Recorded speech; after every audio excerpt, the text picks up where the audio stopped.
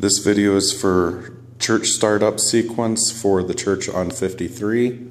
When you first get to the church, you walk in the door, make sure all three lights here are turned on.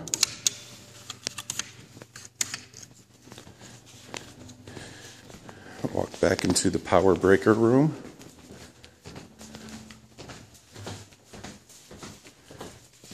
The light switch is right back here.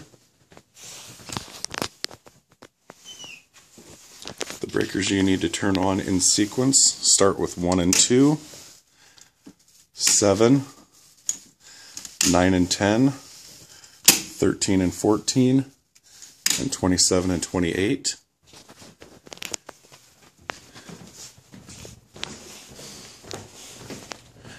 Walk back out and come into the sanctuary area. Your light switch is just to the right of the door. Come back towards the sound booth. Be careful to step. All your light switches here, turn them all on to full.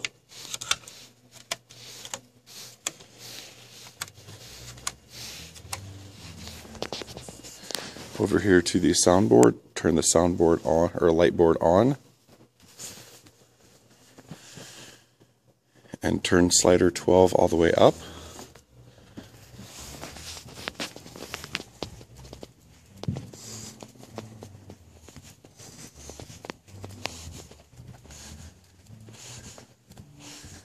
Walking up to the stage.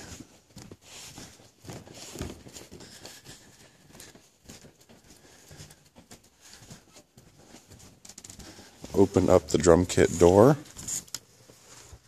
and there is a small um, power strip in here you need to turn on.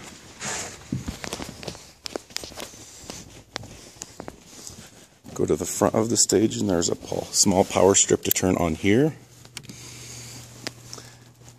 and then turn the TV on.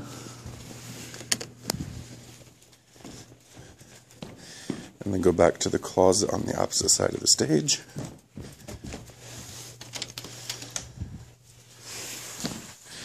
And there's a breaker panel in here. Turn the top left three on, so one, three, and five.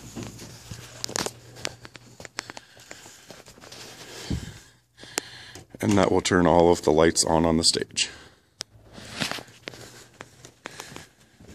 When you're done with that, go back to the sound booth.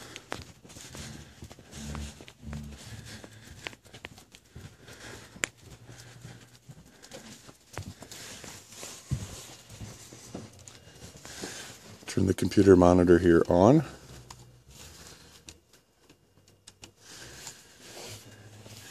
Turn the display monitor on. Monitor on. Remove the dust cover from the soundboard. And fold up the dust cover.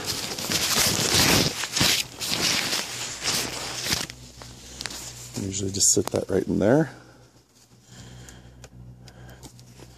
Hit the uh, mute group 1.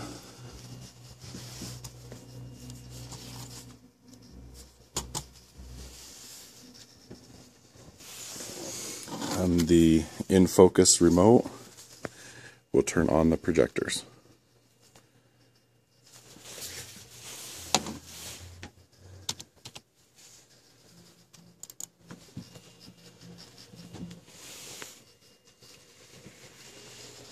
The computers are down there. The one on the right controls the left computer. The one on the left controls the right computer.